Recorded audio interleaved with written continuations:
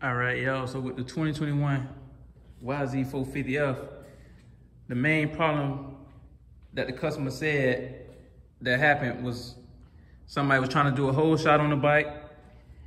And when they did the hole shot, the bike just cut off. And then they tried to start the back, bike back up and the bike, the engine just turned over, but it wouldn't start no more.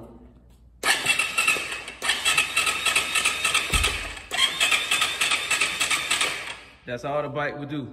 Just turn over, turn over, but won't start. But the first thing, one thing I noticed is that it's turning over too easy. But it's a good thing the motor's not locked.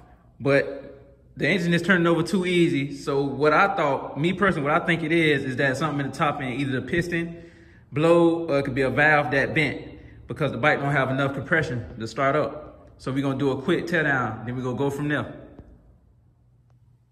All right, y'all. So I done took the subframe and mostly everything else apart. So the next thing I'm gonna do is start pulling that top end off so we can see what's going on, see what's the problem, what caused it. And then we gonna go from there.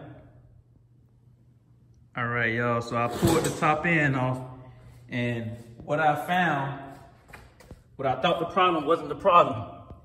What happened was when I pulled the cylinder off, the whole crank rod came off with it, you know, pretty much. But his valves is still, still perfect, still good. The valves are still good. But his crank is definitely, definitely over with.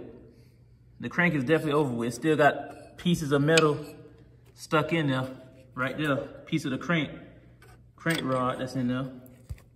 That just came out.